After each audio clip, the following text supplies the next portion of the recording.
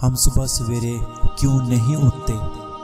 रसूलुल्लाह सल्लल्लाहु अलैहि वसल्लम के सामने एक शख्स का ज़िक्र हुआ कि वो सुबह तक बड़ा सोता रहा और फ़र्ज़ नमाज़ के लिए भी नहीं उठा। इस पर आप सल्लल्लाहु अलैहि वसल्लम ने फरमाया कि शैतान ने इनके कानों में पेशाब कर दिया है।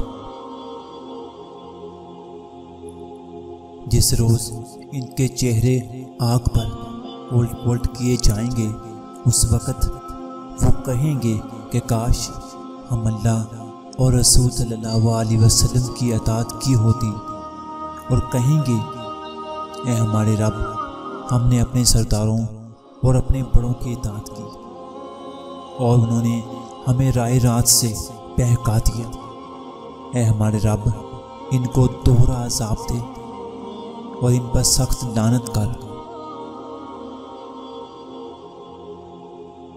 जो शख्स तुम्हारी नज़रों से, तुम्हारी ज़रूरत को समझ नहीं सकता, उससे कुछ मांग कर खुद को शर्मिंदा ना करो। ए इंसान, अल्लाह की उम्मीद से ना उम्मीद ना हुआ कर। अल्लाह की रहमत बहुत वसी, तुम्हारी मुश्किल बहुत छोटी है।